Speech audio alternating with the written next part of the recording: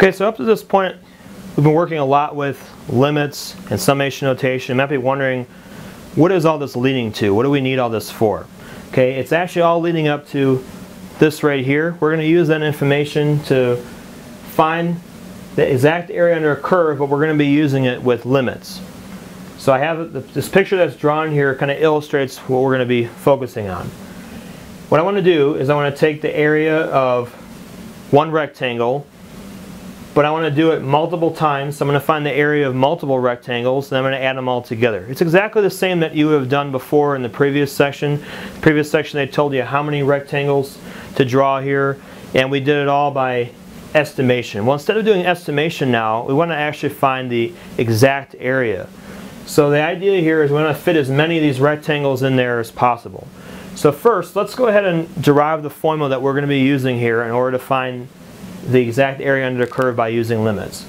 We're going to take one strip. This is just one strip here, and we have a couple uh, variables we want to talk about. Your n is the number of rectangles that you have. And then the CI tells you specifically which rectangle are we working with. Are we working with the first one, the last one? And the CI there, that's where it actually hits the curve itself, and that's going to determine the length of that particular rectangle. Now, I should point out that your CI we're using here is, we're using a midpoint in this drawing, but you could also use the right-hand endpoint if you're working with uh, upper or lower sums, and you could use the left-hand endpoint depending on if you're working on lower or upper sums. So you could actually use either one there. So with that, now we have know all the variables. We're working only between the interval from A to B. Let's go ahead and, and write the formula. The formula is going to be length times width to find an area of a rectangle. So I want to find the area of just this one rectangle that's there. And that area is going to be f of ci and then times delta x. That's length times width right there and that will get you the area of one rectangle. And one rectangle is good but I'd like to have more of them if I can. So what I'm, I'm going to do is I'm going to end up drawing more rectangles in here and I'm going to find the area of those and add them all together. Okay, well this will give you the area of actually each individual rectangle because remember the I is talking about which particular rectangle I'm at. So what I'm going to do is I'm going to put a summation here and the summation is used because I'm talking about the word adding. I'm, if I'm adding multiple things together then mathematically I want to use a summation notation there. So this is going to give me the sum of all the rectangles from 1 to n. But that's not going to give me an exact answer because we don't know what n is equal to. Before, they told us how many rectangles we had, but this time we, we have uh, n, so we're going to get an answer that has n's in it. Okay, well how many rectangles do I, do I need here?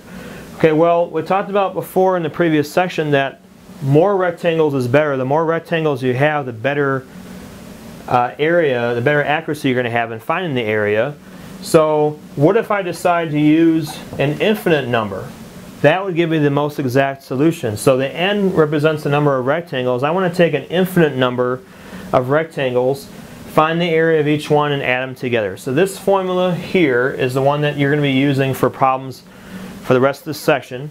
We're, we're going to be using this to find the exact area underneath the curve. So because we're going to be going to infinity, we're going to fit as many rectangles as possible between A and B, and that'll allow us to fill in all the little extra spaces and get the exact area. Well, in order to do this though, we have to know what delta x and ci are. So let's do delta x. Your delta x, you're going to find that by taking the right endpoint minus the left one. So we're going to do b minus a, and then we're going to divide that by how many rectangles we had. This is what exactly what we did before in the previous section, except that usually they give you a number for n. In this case, we don't know exactly how many we have. It's going to be going to infinity, so that's why we use n there. Now let's take a look at this. If n goes to infinity, what's happening to my width here? Well, this bottom number is getting bigger and bigger, and as it gets bigger, the whole entire result is going to get smaller. In fact, it's going to end up going to zero. And that makes sense because in order to fit the maximum number in here, the width is going to have to be really, really small in order to fit the maximum number of rectangles underneath the curve. We're also going to take a look at the CI. Now CI is kind of like an increment. It's a number that tells you which particular uh, rectangle you're at. Now I, I need to do all this with respect to the starting point here because the A, it could be at zero, but it might be at some other number. So I need to start my, start counting from A, and then from there, in order to get the very next one, if I was at CI and I wanted to get the very next one over here, what I can do is just add a delta x to it. However wide the rectangle is, I can add a delta x and that'll take me over to the next one. So I'm going to have a delta x and then times i. And then this is the formula itself that I'm going to use for finding out what exact x value am I at. So this this part right here is the one that's going to be going into the function itself because I want to see where how high the, the height is on that point. So this essentially is going to be an x value telling you where you are along there. So for the future problems that we're going to be doing in this section, you're going to be taking the delta x and your CI and, and plugging them both into this formula and then you're going to be using a bunch of limit techniques and summation formulas and things like that to simplify it down. So that's what the next problems in this section are going to cover.